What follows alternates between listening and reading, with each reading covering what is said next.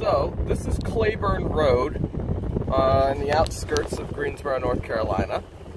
A country road, I guess, but this is just some grade A fucking bullshit. I'm gonna hold my phone in such a way so that you guys can see how many fucking potholes there are here and the fact that the state refuses to try and fix it and has yet to even block the road off. Okay, so here we come up to the first one. Pretty big dip. Here we come to the second one.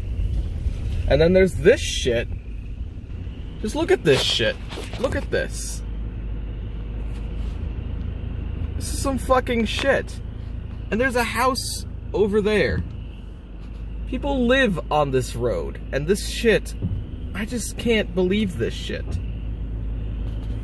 Look at this fucking shit. This is supposed to be a road.